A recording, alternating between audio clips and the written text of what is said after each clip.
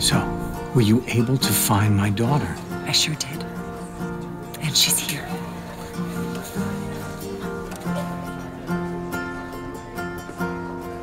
Brian's father is my daughter? Yeah.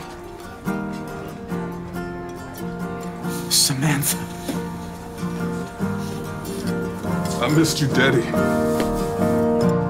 My father says a soldier is someone with an inner strength who'll keep on going. His knees will bend. Is that it? That's a sign that he fell back. Let me help you. There you go. Okay, breathe. Thanks, Dad. thank you.